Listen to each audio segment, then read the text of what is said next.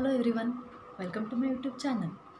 Today I am concentrating on HCF that is highest common factor. Usually in our classrooms we use three methods to find the HCF listing the common factor, then uh, prime factorization method and the division method. And now I am showing you or demonstrating you the activity method of finding the HCF there are two ways two activities or two ways of activity to find the hcf of numbers. In my channel you will come to know both the methods. If you like the video please press the like button share with your friends and subscribe my youtube channel. Come let us start today's activity. Hello children welcome to the second activity of finding the hcf of two numbers. For that first i have to draw a table like this and here the first example I am taking are 7 and 13. Both are prime numbers. Note it. So now for the 7 I am using the 7 rectangle strips. You may use any shape here. It is not mandatory for all the activities you should use rectangle only. So 4, 5, 6, 7, 7 and here this side that is number 13 1 2 3 4 5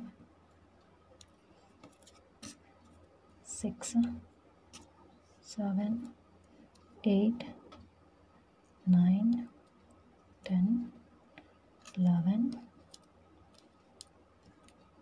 12 13 13 now. 13 strips and here 7 strips because I have taken the number 7 and 13 now first step. Between 7 and 13 which is a smaller number. Yes 7 is a smaller number. So from the bigger number I have to remove the 7 strips now. So 4 5 6 7 so 7 strips are removed from the bigger number that is 13 now look at the left out strips here 7 strips are left and here 6 strips are left. Now between 7 and 6 which is a smaller number? Yes, 6 is a smaller number. So from the larger number remove the 6 strips. The larger number is 7 so I have to remove the 6 strips from the larger number. Yes. Now I left with 1 here and 6. Between 1 and 6 which is a smaller number? Obviously 1. Good. So I have to remove 1 strip from the bigger number now again 1 and 5 1 is a smaller number so remove 1 from the 5 again between 1 and 4 1 is a smaller number. Remove the 1 from the bigger number. Between 1 and 3 the smaller number is again 1 remove that from the bigger number. Between 1 and 2 the smaller number will be 1 so remove that from the bigger number 2 so now I left with 1 and 1 on both the sides. So the HCF of 7 and 13 is 1. Okay, come let us go to the second example. So here I, had, I took the numbers 4 and 8. So 4, 1, 2, 3 and 4.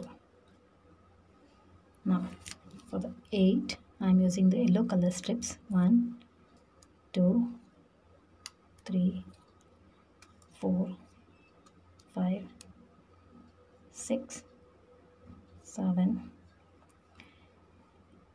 eight. So between 4 and 8. Now again the same steps between 4 and 8 which is a smaller number. Yes, 4. So from the bigger number remove that many strips. So from the bigger number is 8 so remove 4 strips.